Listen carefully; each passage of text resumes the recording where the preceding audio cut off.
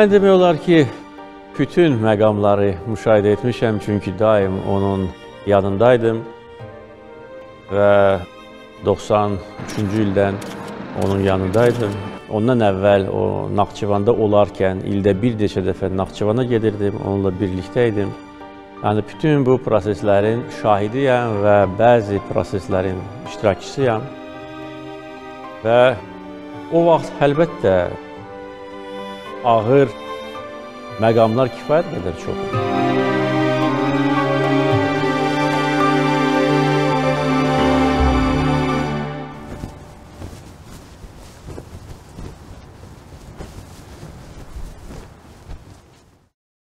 Azərbaycan xalqı əsrlər boyu müstəqillik arzuları ilə yaşamışdır. Biz öz tariximizi çox yaxşı bilirik və yaxşı bilirik ki, uzun illər, əsrlər boyu Azərbaycan başqa imperiyaların tərkibində yaşamışdır.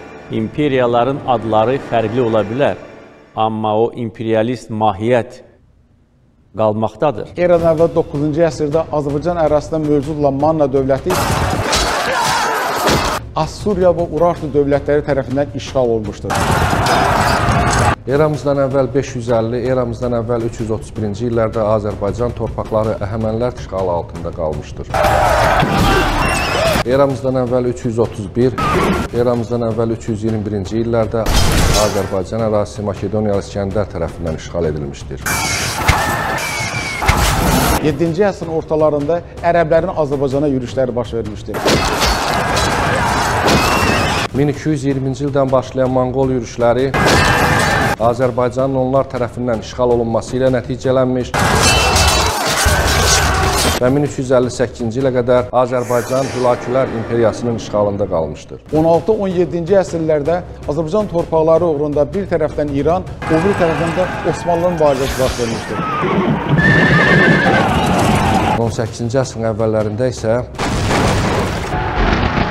Çarizm Azərbaycan torpaqlarını işğal etmək üçün bu əraziyə yürüşlər etmiş. Azərbaycanın xanlıqlara parçalanaraq zəifləməsindən istifadə edən Çar Rusiyası 1828-ci ildə ölkənin şimal hissəsinin işğalını başa çatdırdı. 23 ay mövcud olmuş Azərbaycan Xalq Cümhuriyyəti 1920-ci ilin aprelində Sovet Rusiyası tərəfindən zəbt olundu. Əlbəttə, çox məhdud ideoloji çərçivələr arasında biz yaşamışdıq.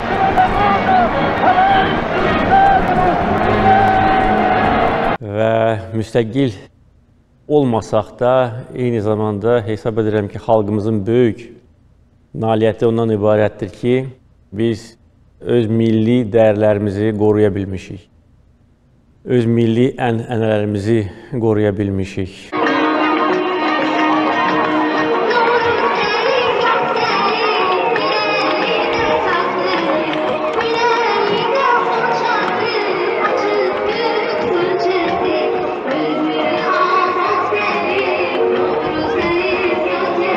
Milli mənliyimizə sadiq olmuşuq.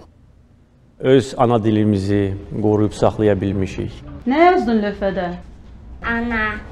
Əlbəttə, 91-ci ildə Sovet İttifaqı dağıldıqda hesab edirəm ki, ən ağır vəziyyətdə olan respublika və yeni ölkə Azərbaycan idi. Nəyə görə? İlk növbədə ona görə ki, bizə qarşı artıq elan edilməmiş müharibə başlamışdı.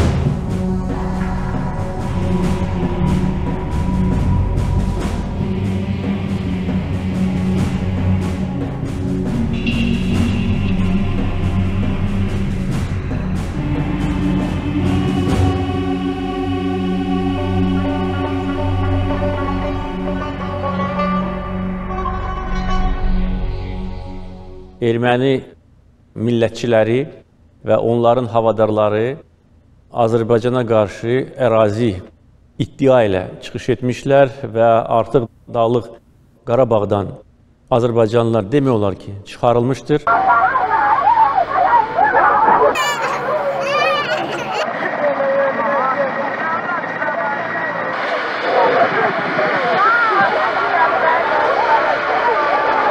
Və müstəqilliyin ilk aylarında Şuşa və Laçının işğala düşməsi və ondan sonra 93-cü ildə aprel ayında Kəlbəcərin işğala düşməsi demək olar ki, Dağlıq Qarabağla Ermənistan arasında coğrafi bağlantı yaratmışdı.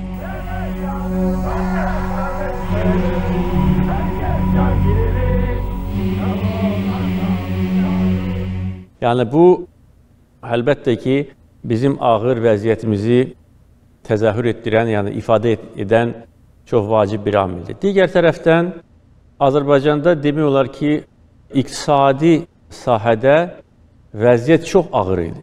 Çünki Sovet dövründə vahid kənd təsərrüfatı kompleks mövcud idi və Azərbaycanda istehsal olunan məhsullar Sovet İttifaqının digər respublikalarına ixrac edilirdi və beləliklə biz öz gəlirlərimizi əldə edirdik. Bu əlaqələr kəsildikdə əlbəttə ki, ölkə iqtisadiyyatı çox ağır vəziyyətə düşmüşdür.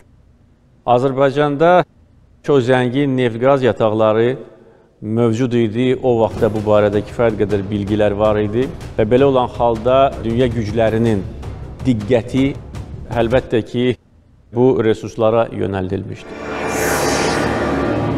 Əlbəttə bu geosiyasi vəziyyətlə bağlı bizim yəni gələcək inkişaf perspektivlərimiz şübhə altında idi. Üstəgəl ölkədə hökm sürən anarxiya və idarəçilikdə olan qüsurlar, ölkənin rəhbərliyinə gəlmiş təsadüfi adamlar, O yoldaşları buradan bırakıp oradan çıkartacak. Əfsuslar olsun ki, mən dəfələrlə belə çıxış edib, ancaq bu çıxışları əməl eləməmişəm. bu adamların həm səriştəsizliyi, həm bir çox hallarda həyanəti nəticəsində demək olar ki, Azərbaycan uçurum kənarındaydı. Təsəvvür edin. Bir tərəfdən erməni qəsbkarların Azərbaycana qarşı hücumları,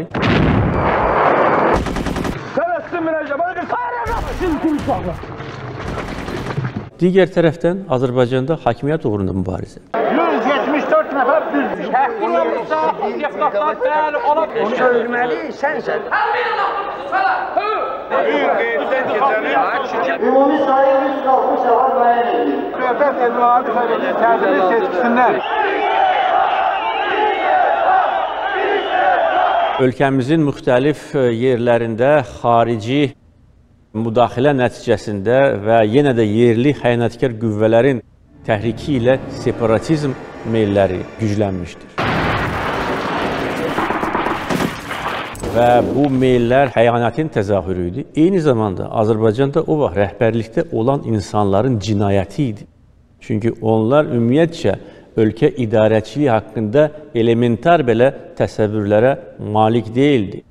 Onlar hesab edirdi ki, ölkəni idarə etmək çox asan məsələdir və cəmi iki il ərzində bir-birini dəyişən hakimiyyətlər demək olar ki, ölkəni dağıtmışlar. 91-93-cü illərdə ölkəmiz böyük çətinliklərlə üzləşmişdi.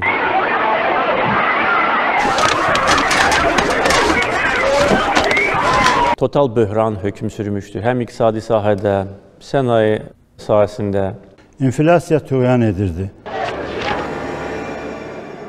Bank sistemi çökmüşdü. Ölkə idarə olunmurdu.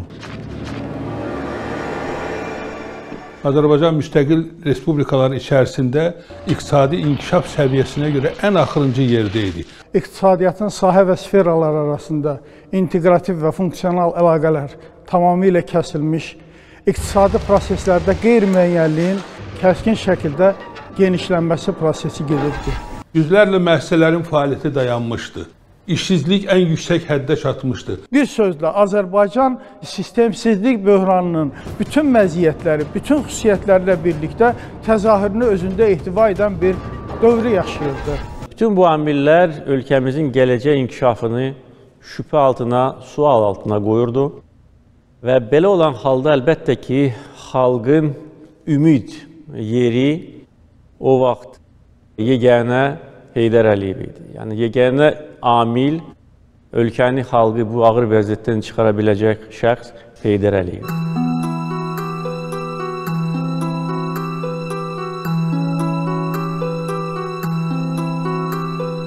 Və nəyə görə? İlk növbədə ona görə ki, xalqın xatirəsində 70-80-ci illərdə Heydər Əliyevin rəhbərliyi ilə görülmüş işlər qalmışdır. O nə qədər o vaxtki Sovet və Azərbaycan iqtidarı çalışsa da xalqın yaddaşından onun buraxdığı izləri silə bilməmişdir.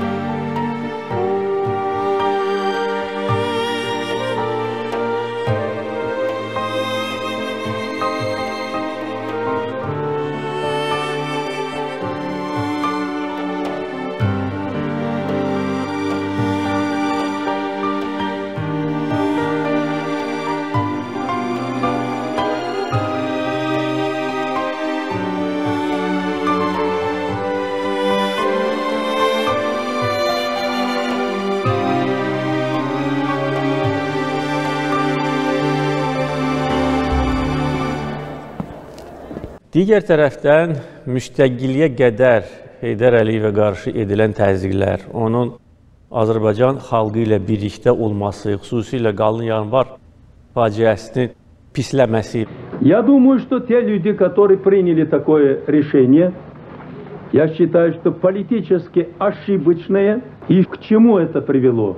Каким трагическим последствиям это привело, теперь уже хорошо нам известно. Və kəskin şəkildə Sovet İttifaqına, onun rəhbərliyinə qarşı getməsi əlbəttə ki, xalqda ona qarşı inamını və hörmətini daha da artırmışdır. Высшие политические руководства страны, которые приняли такое решение, должны нести ответственность за это. Və bu zalda Azərbaycanın daimi nümayəndəliyində dünyanın bütün ölkələrinin jurnalistləri toplaşmışdılar. Я их считаю антиправными. Heydər Əliyev burada öz sözünü dedi. И прежде всего должен нести ответственность перед своим народом Визиров, который удрал вчера из Азербайджана. Sovet hökumətinin başçılarını o ittiham etdi. Должны нести ответственность те, Və Qarbaçovu açıqca pisləmişdir.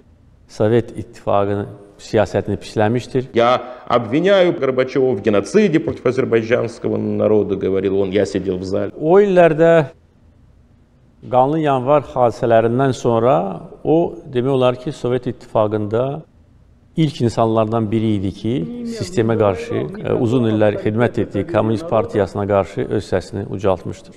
Никогда так члены Политбюро не выступали, как Алиев в тот день. Və dərhal ona qarşı təzyiqlər başlamışdır və əlbəttə bu təzyiqləri biz də hiss edirdik, onun ailə üzvləri. Əfsuslar olsun ki, Sovet dövrünün xüsusiyyəti ondan ibarət idi ki, əgər hər hansı bir siyasi rəqib sıradan götürülürdüsə, onun bütün ailə üzvləri də repressiya altına düşürdü. Və bizim ailədən də belə necə deyirlər, təzyiqlər yan keçmədi. Amma əlbəttə ki, bizim çəkdiyimiz çətinliklər, Heydər Əliyevin çəkdiyi çətinliklər qarşısında yəni müqayisə edilməz dərəcədə idi.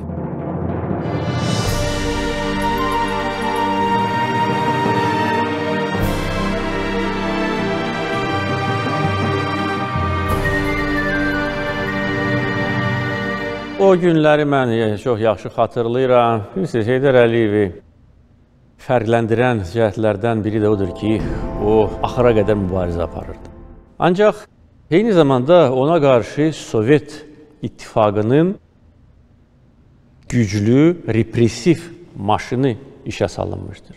У меня на столе папка материалы из прокуратуры о вашей деятельности в Азербайджане. Факты не в вашу пользу. Ancaq bu təzyiqlər onu sındırmadı və o öz mübarizəsini davam etdirirdi və o vaxt onun yeganə arzusu ondan ibarət idi ki, Azərbaycan müstəqil ölkə olsun, Azərbaycan xalqı azadlığa qovuşsun və Azərbaycanın parlaq gələcəyi olsun. Вы, кажется, собрались в Баку?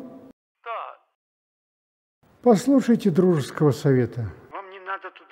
Ona qarşı təzyiqlər artdıqca artıq Moskvada tam belə biz qənaətə gəlmişdik ki, növbəti addım onun həbsi olacaqdır. Belə planlar var. Sonra biz yəni sonrakı dövrdə öyrəndik ki, doğrudan da belə planlar var idi. O təbii ki, Bakıya üst tutdu, amma Bakıda o vaxtki rəhbərlik onu burada qarşılamaq əvəzinə, qucaq açmaq əvəzinə əfsuslar olsun ki, ona qarşı çox əsassız təzyiqlər başlamışdır. Bir qrup adamı aeroporta yığmışdılar ki, onu orada təhqir eləsin, Azərbaycana gəlməyinin qarşısı alınsın. Hətta Eydər Əliyevə sui-qəsd də planlaşdırıldı. Bir nəfər zil maşında birbaşa Heydər Əliyev çıxan maşının üzərinə sürdü həminki vaxtda maşını və o doğulduğu yerə Naxçıvana qayıtdı.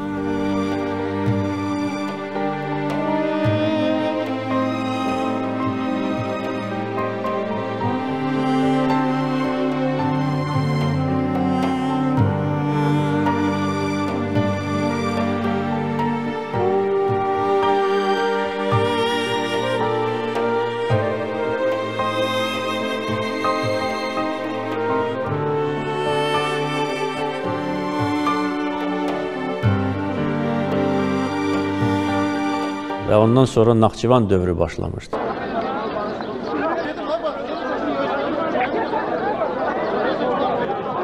Və Naxçıvanda o qayıdarkən demək olar ki, Naxçıvan şəhərinin yəqin ki, mütləq əksəriyyəti və ətraf rayonlardan gələn insanlar böyük izdiham yaratmışlar.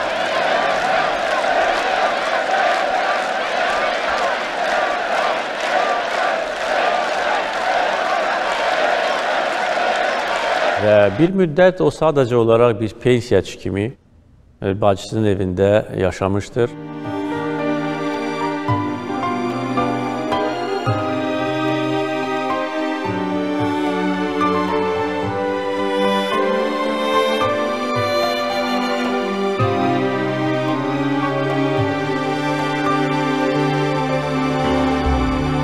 O vaxt 90-cı ildə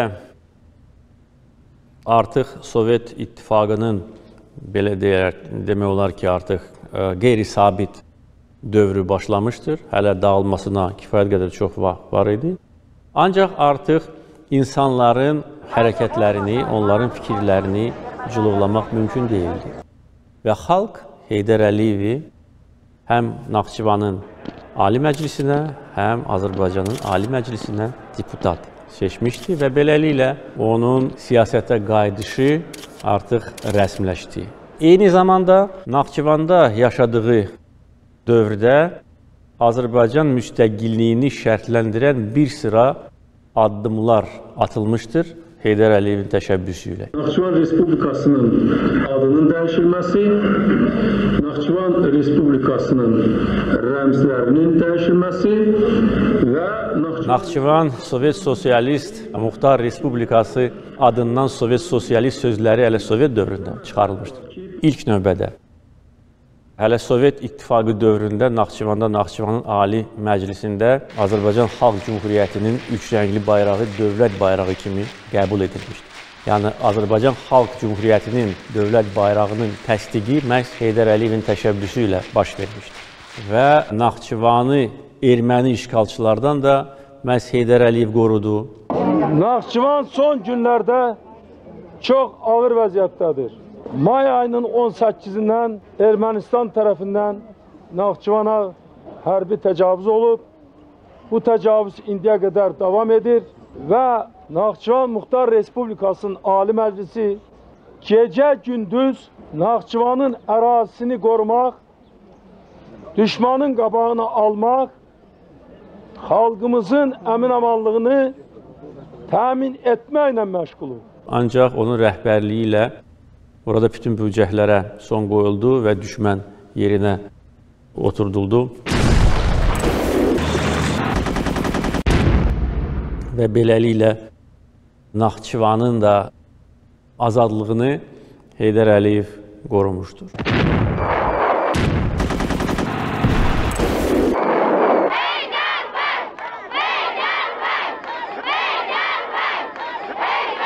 Heydər Əliyev faktoruna Azərbaycan cəmiyyətində tələbat getdikcə artırdı.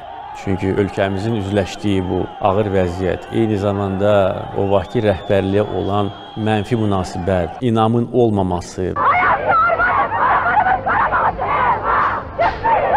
və o rəhbərliyin yerində olmaması əlbəttə ki, insanları axtarışa vadar edirdi və bu axtarış aparmaq üçün də o qədər də böyük, necə deyirlər, səy göstərmək lazım deyildi. Yeganə ümid yeri bir də demək istəyirəm ki, Heydər Əliyev. ki Əliyev gəlsin, bu baladan, bu daladan çıxarsın. Xatırlayıram, o Bakıda küçəyə çıxmışdı sadəcə olaraq. Çoxdan Bakıda olmamışdı, Bakı üçün darıxmışdı və dərhal onun ətrafında insanlar toplaşmağa başlamışlar. Люди были в шоке. Сам Гейдар Алиевич ходит спокойно по улицам Баку. Сперва увидел несколько человек, я вот тому свидетель. А потом начал собраться уже огромная толпа. Все его приветствовали, радовались, что он наконец-таки вернулся. Və hardasa yarım saat, bir saatdan sonra minlərlə, bəlkə də 10 minlərlə insan elə onun ətrafında toplaşıb, elə onun dalınca gedirdi. İnsanlar gördükcə yaxınlaşdı, görüşürdülər, hamısı öz xoş sözlərin, münasibətlərin bildirdilər. И вот тихо-тихо это начало обрастать толпа. Кричали люди, Гейдар Алиевич, Гейдар, Перебахус, Гейдар Алиевич, Гейдар. O sadəcə olaraq küçəyə çıxmışdı gəzinti üçün. İnsanlar da elə ona qoşulub gedirdilər. Çox qəribə bir mənzərə idi. Yəni bu çox təbii və onun böyüklüyünü əks etdirən bir hal idi. Böyük bir insan kütləsi yaranmışdı ətrafında. Mən deyərdim ki, heç çağırılmamış bir mitinq yaranmışdı. Естественно, это очень тут же было сообщено наверх, тогдашнему руководству. Это все очень все сполошились. Və yadımdadır o vaxt Bakının deyəsən Baş Polis İdarəsinin rəisi o yerə gəlmiş və demişdi ki, siz burada icazəsiz mitinq keçirirsiniz. O dedi ki, mən mitinq keçirmirəm. Mən sadəcə gəzintiyə çıxmışam. İnsanlar da mənim dalımca gedir. Mən hara gedirəm, insanlar da mənim dalımca gedir. Ki, yox, bu qanunsuz mitinqdir, siz cavab verəcəksiniz. Siz Bakıda ictimai siyasi sabitliyi pozursunuz. Pozduğunuza görə Bakı şəhərini siz tərk eləməlisiniz. Yəni onun faktoru, onun amili o qədər o vaxtki burada oturanların narahatlığına səbəb olmuşdur ki, hətta onun sadəcə olaraq gəzintiyə çıxması da onları təşvişə salmışdır. Власти имущие и Народный фронт очень боялись его. Боялись его популярности и значимости для азербайджанского народа. 93-cü ildə bildiyiniz kimi vətəndaş müharibəsi başlayanda buradakı ə, hal cəbhəsi iktidarı çox böyük təşviş içində idi, qorxu içində idi. Bak biz ne vurduk? Parçalanma gedecek. Adamda vicdan olar. Baş tutmayacak, bilin. Tutmayacak. Və öz necə deyirlər, canını qurtarmaq üçün Heydər Əliyevə dəfələrlə o vaxtki dövlət başçısı və onun ətrafı müraciətlər etmişlər ki, o Bakıya gəlsin və vəziyyəti xilas etsin, yəni onları xilas etsin əslində.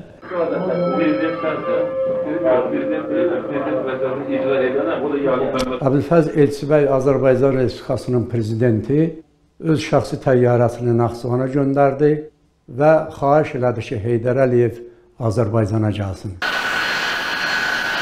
Bəli, Elçibəy özü zəh vurmuşdu. Danışmışdı ki, bəs ağır vəziyyətdə, gərgin vəziyyətdə, sənə bizim ehtiyacımız var. Və Əbülfəz Elçibəyə deyildi ki, Heydər Əliyev Azərbaycana gəlmək istəmir. O da qayıtdı ki, Heydər Əliyevin ayağının altında qurban kəsirəm.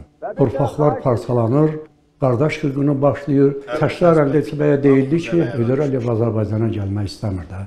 Yenə də Əbülfəz Elçibəy həmən sözləri bir daha təkrar elədi. Üçüncü dəfə yenə də Əbülfəz Elçibəyə deyildi ki, Heydər Əliyev Azərbaycana gəlmək istəmir.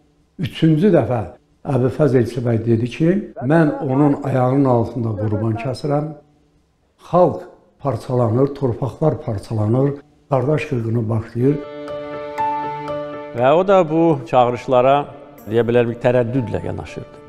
Çünki həmən o xalq cəbhəsi iqtidarı o iqtidar idi ki, Naxçıvanda da Heydər Əliyevə qarşı sui-qəsd hazırlamışdı, təşkil etmişdi, amma uğursuz oldu. Eyni zamanda onu oradan devirmək üçün Yəqin ki, xatırlayırsınız, keçmiş Daxili İşlər Naziri buradan xüsusi təyinatlı dəstəni göndərmək istəyirdi ki, orada Heydər Əliyev həbs edəcək. İskəndər Həmidov Hətta belə demişdi ki, mən gedirəm Naxçıvana, Heydər Əliyev əllərini bağlayıb həbs edib gətirəcəm Azərbaycana. Гайдар Ильич позвонил Баку, сказал, что он себе позволяет. Кто он вообще такой? И пускай приедет сюда, здесь ему достойно встретиться. İskəndər Həmidov bu günləri yenə dəstəni yığıb gəlib aeroporta. Sən özün görmüsən ki onu. Bəs nəyə gəlirdi bura? Yo, nəyə gəlirdi bura? Nəyə gəlirdi bura o dəstəsi ilə? Naxçıvan xalqı hamı bir mənalı olaraq Heydər Əliyevin müdafiə üçün küçələrə çıxdılar və eyni zamanda Ali Məclisin qabağına toplaşdılar Və bütün cəmaət səhərə qədər ayaq üstə o meydanda dayandı. Местные жители с окрестных сел уже на взлетную полосу поставили грузовики с камнями, щебнем, пускай прилетает и садится. İskəndər Həmidovun təyyarəsi gəlsin düşsün Naxçıvana görə necə düşür. Və onlar orada səhərə qədər qaldılar. И там тоже это пахло гражданской войной. İskəndər Həmidov bütün məsələləri başa düşəndən sonra ki, bu qeyri-mümkündür. Xalqın məhəbbəti hər şeydən güclüdür. Naxçıvana gələ bilmədi. Yəni həmən bu iqtidar ona müraciət etmişdi ki, sən gəl indi bizi xilas et. Ona görə o tərəddüd edir. Onlar məcburdular ki, onu dəvət eləsinlər. Yoxsa elə bilirsiniz ki, onlar ürəkdənmi istəyirdilər onun dəvət olunmasını ora? Əsla yox. Amma qorxudan Onu Bakıya qayıtması qayıtması üçün vadar edən xalqın və ziyalıların ona olan müraciətləri olmuşdur.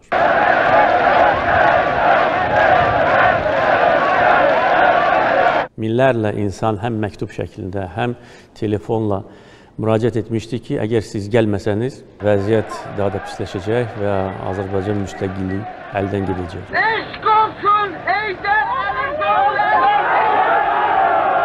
Ona görə də Heydər Əliyev bütün bunların hamısını nəzərə aldı, xalqımızın vəziyyətini nəzərə aldı, torpaqlarımızın getdikcə parçalanmasının nəzərə aldı və torpaqlarımızın daha çox getməsini nəzərə aldı.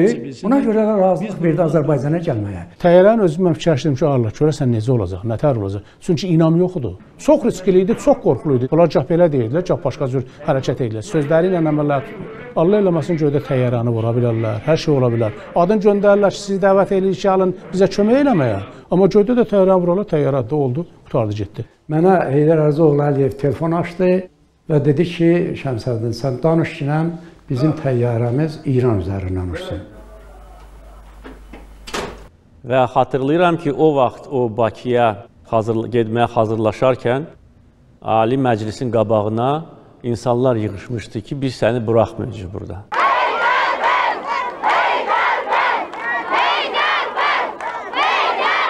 Naxçıvanın bütün rayonlarından qadınlar, kişilər toplaşıb Ali Məclisin qabağına yığılmışdılar ki, Heydər Əliyev gedir, Naxçıvan şöhtə qalacaqdır. İnsanların çoxu kövrəlirdi, ağlayırdı ki, bəs gedirsiniz biz nə olacaq bizim taleyimiz.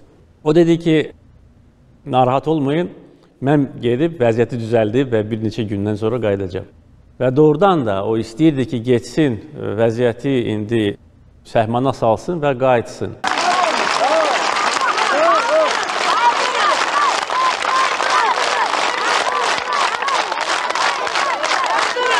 Bakıda biz o qədər izdiham gördük aeroportda.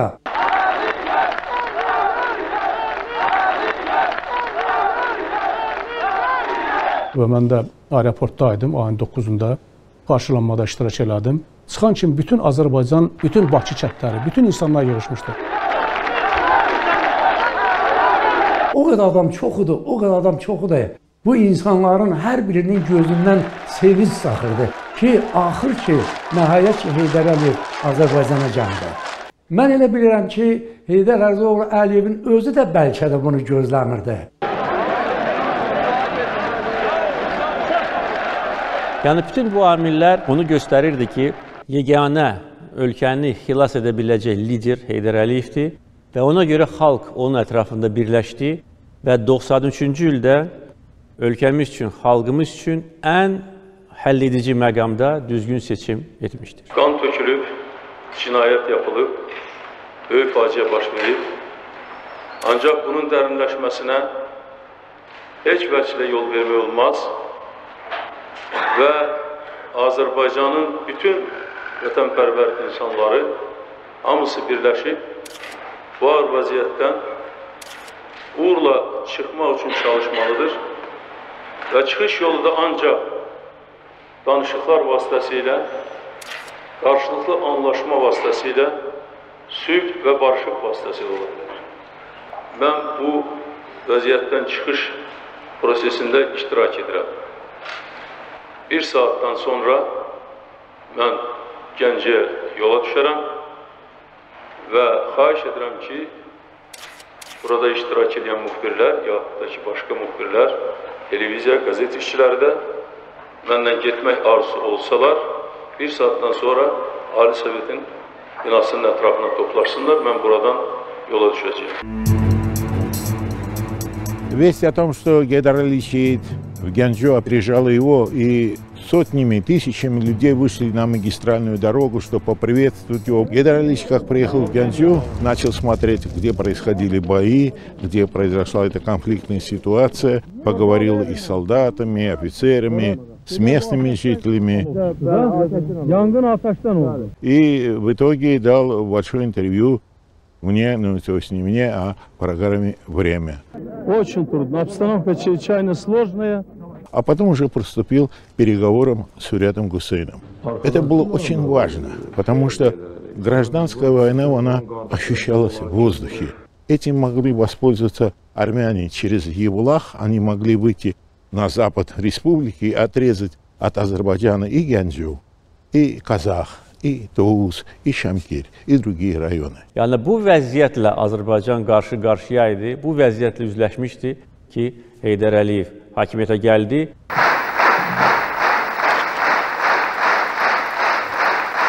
Və tədricən bütün xoşagəlməz hallara son qoyuldu. İlk növbədə vətəndaş müharibəsi dayandırıldı. Ondan sonra cəbhədə uğurlu ə, hücum əməliyyatları başlamışdır. Və bu əməliyyatlar nəticəsində Heydər Əliyevin rəhbərliyi ilə Füzuli rayonunun bir hissəsi işğalçılardan azad edilmişdir. Horadiz qayıtdı bizə, yəni biz onu qaytardıq.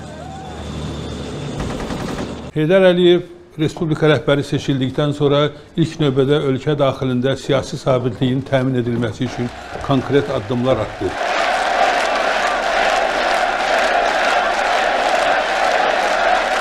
Və bu zaman ölkəmizin, dövlətçiliyimizin əsasları üçün, onun iqtisadiyyatının əsasları üçün çox mühüm işlər görüldü.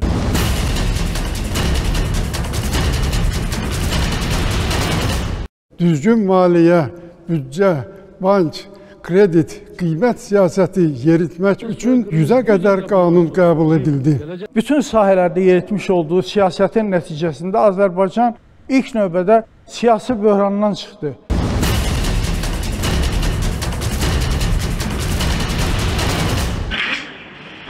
Ondan sonra ölkəni dünyaya tanıtdırmaq üçün xarici investisiyaları cəlb etmək birinci sıraya çıxmışdır və bu investisiyaları cəlb etmək biz başa düşürdük ki, ilk növbədə ancaq neft-qaz sektoruna mümkündür. Əsrin kontraktı bizim üçün bir, yəni gələcəyə atılan bir körpü idi.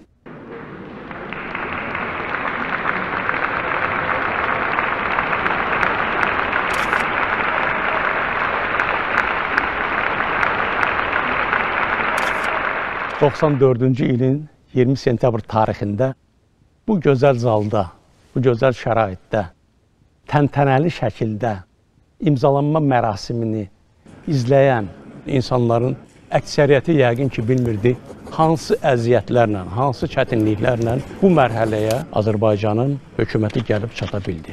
Çətinlik nədən ibarət idi ki, kim, hansı şirkət, hansı dövlət parçalanan, dağılan bir ölkəyə milyardlarla dollar sərmayə qoymağa hazır ola bilərdi. Çünki o zaman parçalanmış, dağılmış Azərbaycanın gələcəyinə inanan bir o qədər çox insan, qurum yox idi. İnan var idisə də bir insana, o da Heydər Əliyevə. Çünki bütün dünya Heydər Əliyevi həm siyasətçi kimi, həm bir insan kimi çox gözəl tanıyırdı. Bu kontrakt bizə çox lazım idi. Amma eyni zamanda biz istəyirik ki, maksimum bizi qane edən şərtlərlə. Xarici şirkətlər irəliyə bir tələb sürdülər ki, kontraktla mütləq yazılmalıdır ki, Xəzər dənizinin statusu hüquqi cəhətdən həll edilməyənə qədər xarici şirkətlər Azəri çıraq günəşi yataqlarının işlənməsinə sərmayə qoymaq öhdəliklərindən azaddılar. Ancaq danışıqlarda iştirak edən cənab İlham Əliyev çox ciddi şəkildə məsələyə aydınlıq gətirdi. Azərbaycan heç bir zaman, heç bir şəkildə bu cür tələbləri qəbul edə bilməz. Və bu gərginliyi aradan qaldırmaq üçün İlham Əliyev Vaşinqtona getdi. Amerika Birləşmiş Ştatlarının rəsmilərindən həm hökumətdə, həm parlamentdə, başqa qurumlarda müvafiq görüşlər keçirdi. Azərbaycanın tələblərini izah etdi və nəticədə bu məsələ aradan qaldırıldı. O zamanki Azərbaycan üçün bu qədər cəsarətli hərəkət etmək çox önəmli bir addım idi və bunu da hər adam edə bilməzdi. Və yəqin ki, buna görə o vaxt mənim atam məni bu vəzifəyə təyin etmişdi. Çünki mən artıq dövlət vəzifəsində deyildim. Mən bizneslə məşğul idim və həm Moskvada, həm İstanbulda və ümumiyyətcə dövlət işinə yəni qayıtmaq, getmək belə bir fikir yox idi qətiyyən. Atamın tapşırığı ilə mən bu vəzifəyə getdim, Dövlət Neft Şirkətinin vitse-prezident vəzifəsinə və xarici əlaqələr mənim səlahiyyətimdə idi.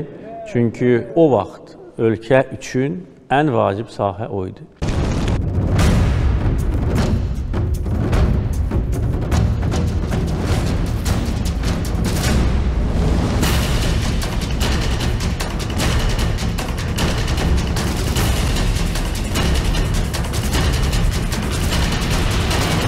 Və əlbəttə o kontrakt bizə imkan verdi ki, biz öz maddi vəziyyətimizi yaxşılaşdıraq. Azərbaycanın neft sənayesi canlansın.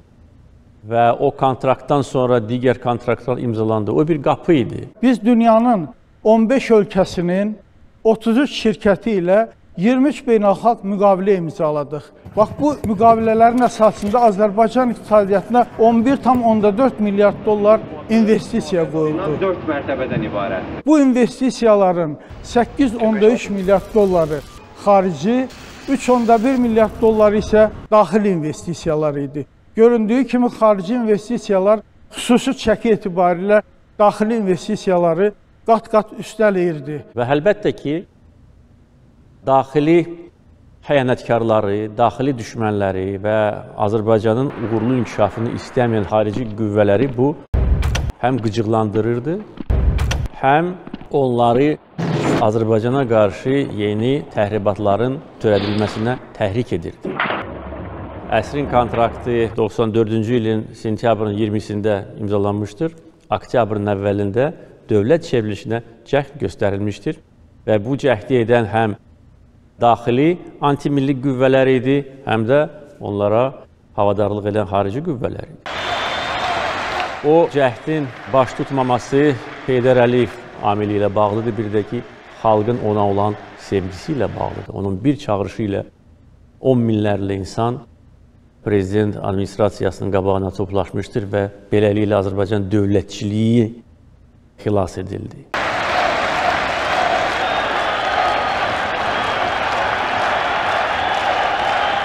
Ondan bir il sonra 95-ci ilin mart hadisələri.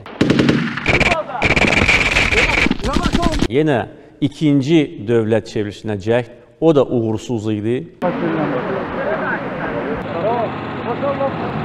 Yenə də ona görə ki, xalq Heydər Əliyevdən başqa siyasi lider görmürdü.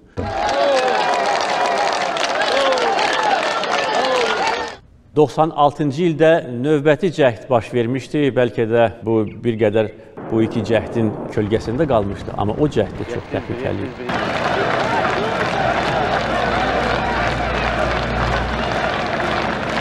...97-ci ildə demək olar ki, tamamilə bax bu təhlükələr aradan qaldırıldı. Və eyni zamanda məhz o illərə Azərbaycanda bax bu gün də davam etdirilən siyasi və iqtisadi islahatların aparılması təsadüf edilir.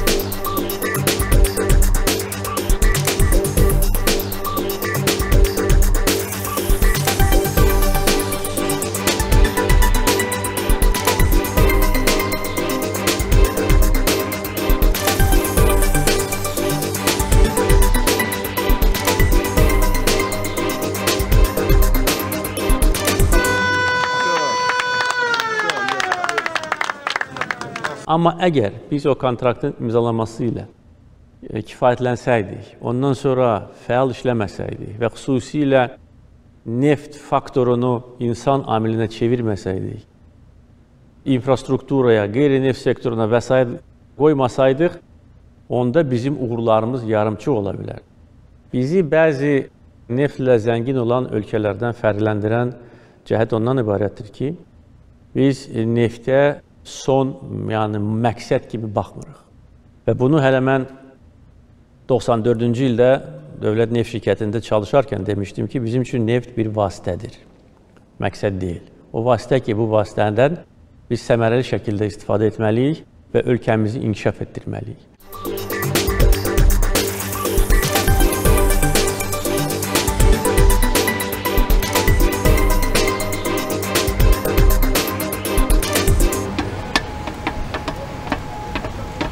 Yaxın tarixə nəzər salarkən bir daha görürük ki, bir, Azərbaycan dövlət müstəqilliyinin qurucusu Heydər Əliyev idi. Bu şübhəsizdir. İki, əgər o vaxt Heydər Əliyev olmasaydı, bu gün Azərbaycan hansı vəziyyətdə olacaqdı, bunu demək çox çətindir.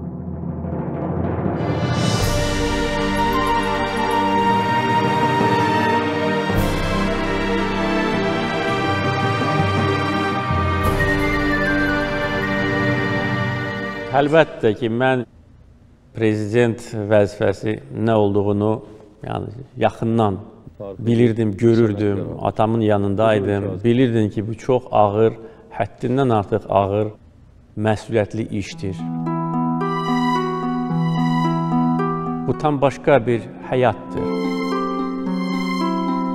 Yəni prezident vəzifəsində olan insan əgər o doğrudan da xalqın qayğıları ilə yaşayırsa, dövlətin qayğıları ilə yaşayırsa, o adamın artıq yəni gecəsi gündüzü olmur.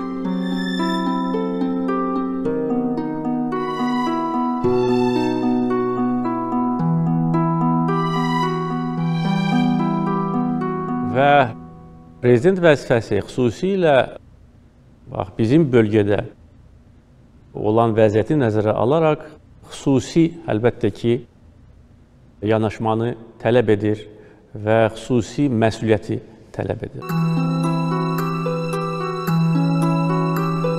Mən əlbəttə ki, bunu dərk edirdim. Bəzilərdən fərqli olaraq, çünki bəziləri indi prezident arzusuna düşənlər, bəzi insanlar hesab edirlər ki, prezident olmaq böyük bir, yəni üstünlükdür yaxud da ki, böyük imtiyazlar verəcək. Amma mən dərindən bilirdim ki, bu çox ağır, məsuliyyətli vəzifədir və bu vəzifədən ağır və məsuliyyətli vəzifə ikinci ola bilməz. Çünki bu son məsuliyyətdir. Əlbəttə ki, hər bir dövlət qurumunun öz məsuliyyəti var. Hər bir nazirliyin, hər bir dövlət şirkətinin ancaq son məsuliyyət prezidentin üzərindədir və son qərarı prezident verir və o qərardan ölkənin taleyi asılıdır.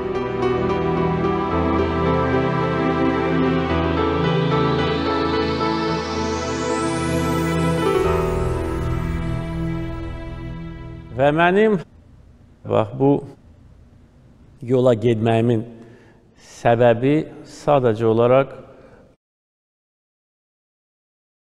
Heydər Əliyev siyasətinə, onun ideyalarına olan sədaqətimin nəticəsidir. Məni bu vəzifəyə heç bir başqa amil, yəni sövq etmədi. Sadəcə olaraq mən bilirdim və görürdüm ki, əgər bu siyasətə dəyişiklik edilərsə, əgər yenə də Azərbaycan rəhbərliyinə təsadüfi adamlar gələrlərsə, bizim ölkəmiz, xalqımız böyük fəlakətlərlə üzləşə bilər. Və bu ehtimal və bu təhlükə var idi. Çünki 2003-cü ildə bilirsiniz ki, Heydər Əliyevin səhhətində problemlər yaranmışdır. O bir müddət müalicə olunurdu və bu vəziyyətdən istifadə etmək istəyən həm daxili, həm xarici qüvvələr çox fəallaşmışdılar. Onlar hesab edirdilər ki, bunlar üçün son şansdır ki, hakimiyyəti ələ alsınlar və Azərbaycanı tam başqa istiqamətə aparsınlar. O ölkəmiz üçün fəlakət ola bilərdi. Çünki tam əminliklə deyə bilərəm ki, o vaxt hakimiyyət iddiasında 2003-cü ildə olan qüvvələr antimilli qüvvələrdir.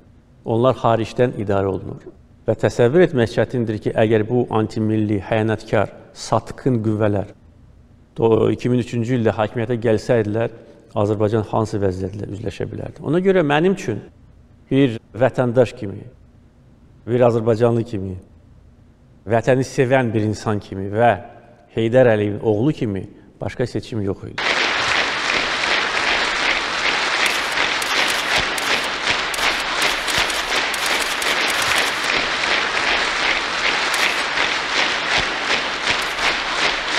Və xalqın dəstəyinə arxalanaraq və əlbəttə ki, o vaxt Heydər Əliyev amili həll edici rol oynamışdır. Bu amilə arxalanaraq mən bu mübarizəyə qoşuldum və həyat onu göstərir ki, mən düzgün addım atmışam.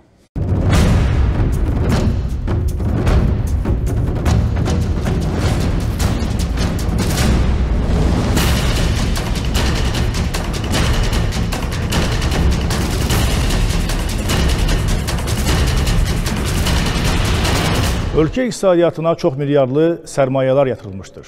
Hazırda strateji valyuta ehtiyatlarımız 45 milyard dollar səviyyəsindədir.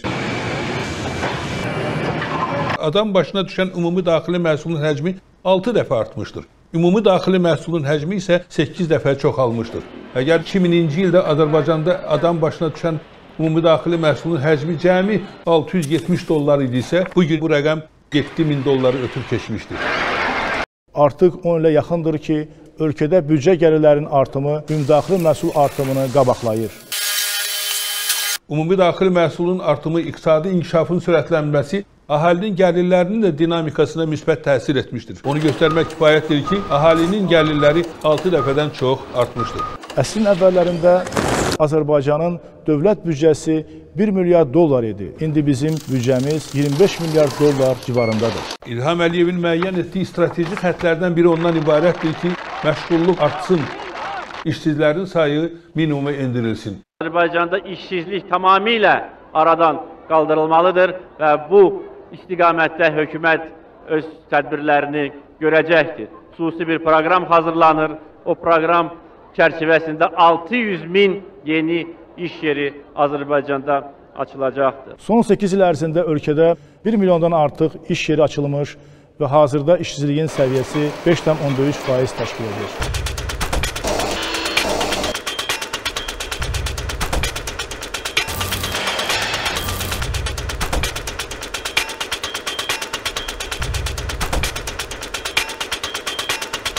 Yoxsulluğun səviyyəsi 2001-ci ildə 49%-dən 2010-cu ildə 9,1-ə, 2011-ci ildə isə 7%-ə enmişdir. Azərbaycan dünyanın 153 ölkəsi arasında ən aşağı yoxsulluğa malik 20 ölkədən biridir. Proqnozlara əsasən 2013-2016-cı illər ərzində əhalinin gəlirləri orta hesabla illik 6,6% artacaqdır. 2004-cü ildə Cənab Prezident regionların sosial-iqtisadi inkişafı ilə əlaqədar olaraq fərman imzaladı. Bütün bunlar regionların inkişafı deməkdir. Bütün bunlar xalqın daha da yaxşı yaşaması deməkdir. Bütün bunlar ölkəmizin möhkəmlənməsi deməkdir. Bütün bölgələrdə quruculuq, abadlıq işləri aparılır. Uğurlu sənaye siyasət həyata keçirilir. Regionlarda yeni sənaye müəssisələri yaradılır. Regionlarda işlər çox uğurla gedir. Bütün bölgələrdə canlanma, inkişaf, infrastruktura layihələrinin icrası prosesi gedir. Yeni iş yerlərinin açılması prosesi gedir. Bu isə o deməkdir ki, regionlarda urbanizasiya proseslərinin təkmilləşməsi istiqamətində konkret işlər görülür. Ölkədə biçimli sosial siyasət həyata keçirilir. Mən istəyirəm ki, Azərbaycan sözün əsl mənasında inkişaf etmiş ölkələrin sırasına daxil olunsun. İstəyirəm ki, insanlar yaxşı yaşasınlar, yaxşı maaş alsınlar, uşaqlar yaxşı məktəblərdə oxusunlar, xəstələr yaxşı tibbi xidmətə malik olsunlar. Bu məqsədlə Azərbaycan Respublikasının konstitusiyasında edilən dəyişikliklər imkan verdi ki, biz dünyaya bəyan edək. Azərbaycan sosial yönümlü bazar iqtisadiyyatı qurur və bu istiqamətin, bu konsepsiyanın ana xəttini ölkənin sosial yönümlü xərclərin artması, əhalinin sosial həyat səviyyəsini xarakterizə edən göstəricilərin yaxşılaşması, təhsilin, səhiyyənin genişlənməsi insan inkişaf indeksi göstəricisinin xeyli dərəcədə yaxşılaşması təşkil edir. Əgər 2001-ci ildə sosial yönümlü xərclər cəmi büdcədə 450 milyon təşkil edirdisə, artıq 2011-ci ildə bu rəqəm 4 milyard manatı ötüb keçmişdir. Bakı-Tbilisi-Qars layihəsi Asiyanı Avropa ilə birləşdirir. Azərbaycan Trans-Anadolu qaz boru xətti layihəsinin təşəbbüskarı olaraq həm qardaş Türkiyənin, həm də bütövlükdə Avropanın enerji təminatlığını yüksəldir. Dövlət başçısının bilavasitə müəyyən etdiyi konkret tədbirlər nəticəsində Azərbaycan bu gün dünyada enerji təhlükəsizliyini, iqtisadi təhlükəsizliyini, ərzaq təhlükəsizliyini təmin edən ölkələrdən biridir. Özəl sektor inkişaf edir. Sahibkarlıq fəaliyyəti genişlənir. Yerli sahibkarlara köməklər edilir, güzəştli kreditlər verilir. Arzu edirəm ki, təsərrüfatın inkişaf etsin.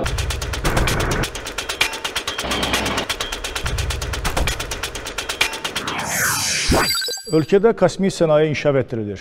Kosmik sənayinin yaradılması və inkişafı üzrə dövlət proqramı icra olunur.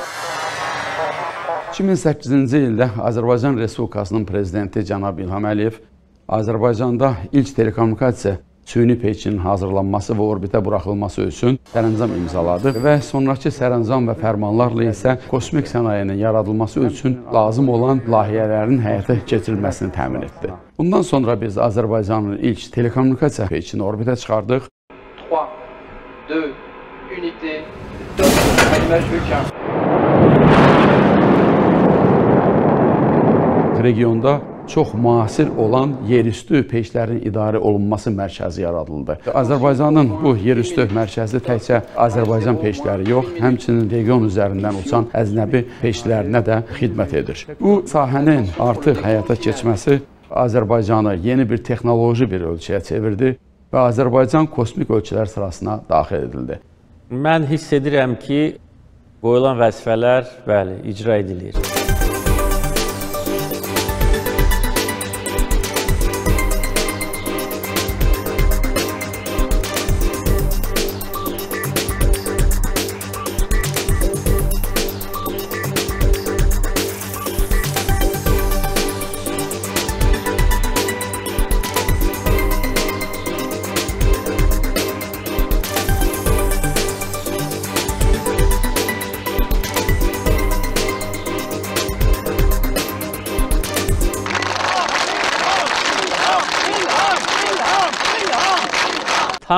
Deyə bilmərəm ki, istədiyimə nail ola bilmişəm. Çünki gələcəkdə hələ görüləsi çox iş var.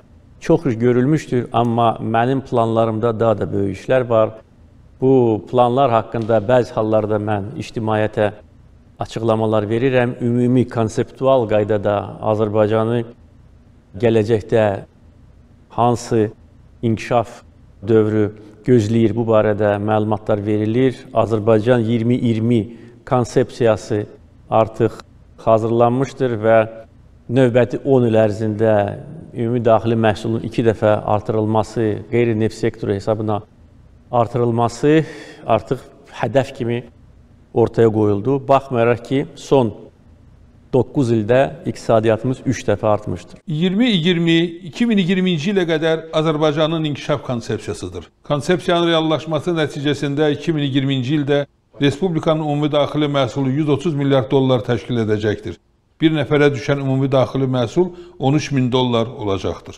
Ölkədə gedən quruculuq, abadlıq işləri haqqında bəlkə də heç deməyə dəyməz, çünki hər şey göz qabağındadır. Həm Bakı, həm bölgələr, hər bir rayonda, hər bir kənddə quruculuq, abadlıq işləri gedir və ən önəmlisi ondan ibarətdir ki, bu işləri biz hamımız edirik. Yəni cəmiyyətdə çox gözəl bir necə deyirlər belə entuziazm ab havası var.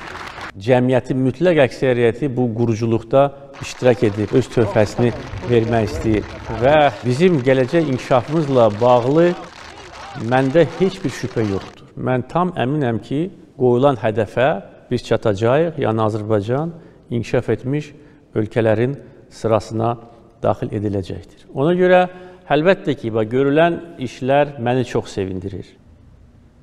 Hər bir insan öz işin nəticələrini görəndə təbii ki, sevinir. O cümlədən də mən, amma eyni zamanda mən daim bir, necə deyərlər, məqamı ürəyimdə saxlayıram ki, mən atamın inamını doğrultdum. Yəni bugün əminliklə bu barədə deyə bilərəm ki, əgər o bugünkü Azərbaycanı görsəydi, o yəni şad olardı. Əminəm ki, onun ruhu şaddır çünki bugünkü Azərbaycan onun əsəridir.